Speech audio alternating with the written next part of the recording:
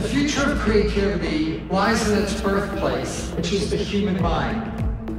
There is no more wondrous and powerful machine in the known universe than the human mind. We are now educated enough to understand that it is not somebody's anatomies that rule, but somebody's identities, their consciousness, their soul.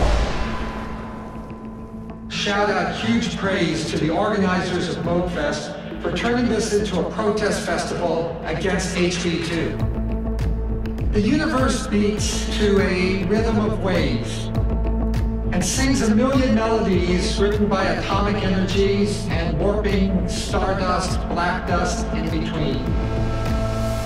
We electronic musicians have proven that the beautiful harmonies of acoustics are no less natural to the human soul when rendered synthetically and technologically. The future of creativity is using the power of digital signal culture to spread our consciousness everywhere. We are makers. The key to free yourself from oppression is to make your way out of it.